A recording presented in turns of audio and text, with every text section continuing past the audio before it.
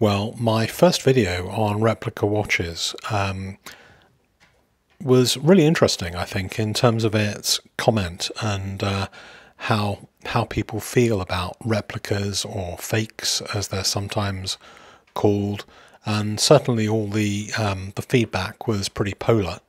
Tons and tons of people very for, tons of people totally 100% against, and lots of grey areas in the middle of people who I guess are sort of similar to me in the fact that they're, they're willing to contemplate both kind of watches. And I guess probably that's maybe a little bit unusual and people can't necessarily understand it.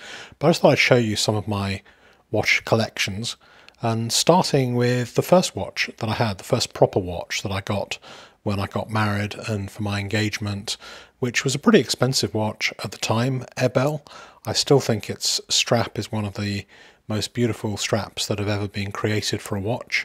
But this had a quartz movement, and as you can see, it's not running at the moment because I haven't changed the battery and seals for a while, but I guess I could get it running. But these days, it's probably considered to be a little bit small. So probably the next kind of major purchase that I made is this uh, Rolex uh, Submariner. Uh, you can tell that it's real for those doubters just by listening to the way the the bezel kind of rotates and the number of clicks.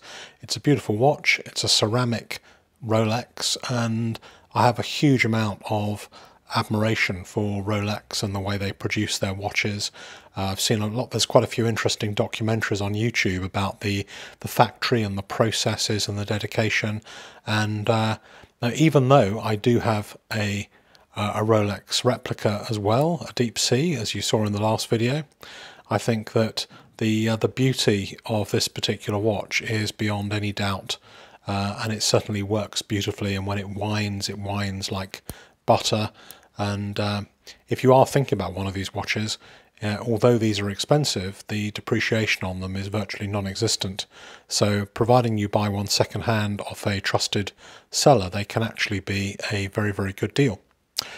The third um, watch that I'd like to show you is um, a very interesting German watch by um, a watchmaker called Roland Kemmner.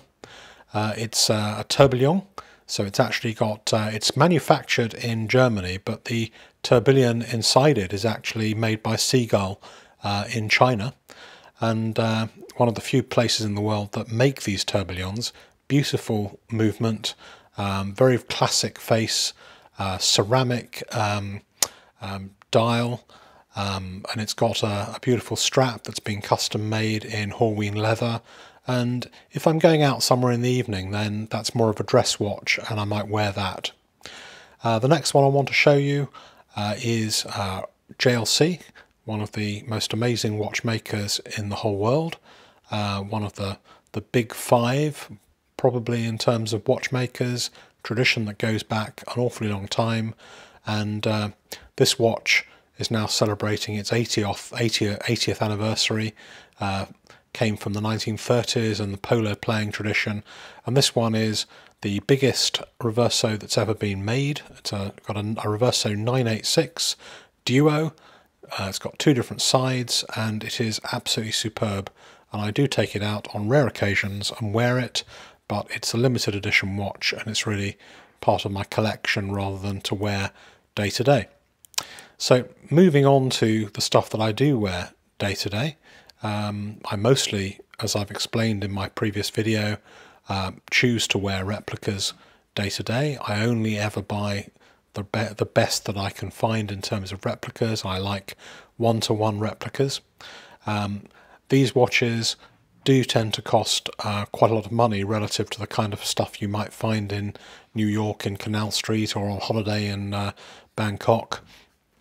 These are particularly good um, replicas where they take the original watch, often take it to pieces and manufacture each part one by one.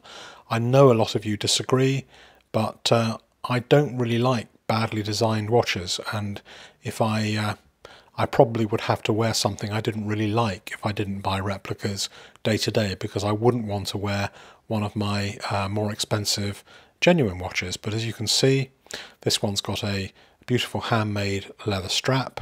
Uh, the movement is not totally true. This is a replica of a 19, 1951 FIDI Special Edition Panerai. Um, they produced, I think, 1950 of these originally, and then uh, this one is clearly a replica. The original one is about £10,000. Uh, next one I want to show you is one that um, I bought, one of the first replicas I bought actually. The, uh, the original movement was made by a Chinese factory known as H Factory.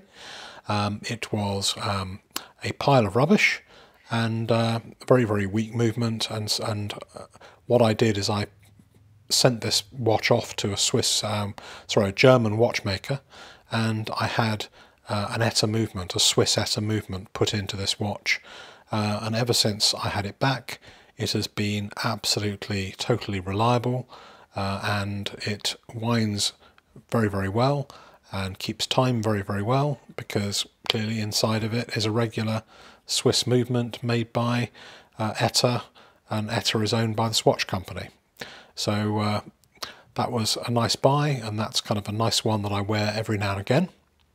The last one I want to show you at the moment is this was uh, when it came out um, about three years ago, two, three years ago. This was made by um, an outfit in China called Noob, and this was their first one to one, absolutely ultimate replica. And it's a absolutely brilliant replica of a Panerai 243 submersible. Uh, I've taken it in the water. It is actually waterproof. Um, I think it's beautifully made.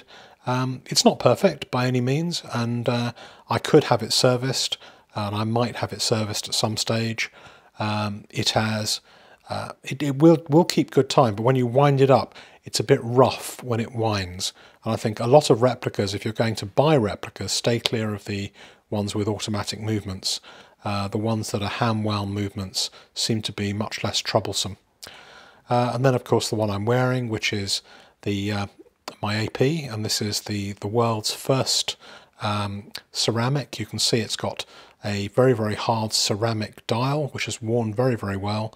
And then uh, it's it's a carbon body. It's This was the first, when it came out, the first replica carbon body made using exactly the same uh, process as, uh, as the regular watches. So I'm sure with this um, video you'll also uh, have lots of things to say. I'll get a few flames, I'll get a little bit of support, but it's uh, a very interesting discussion topic.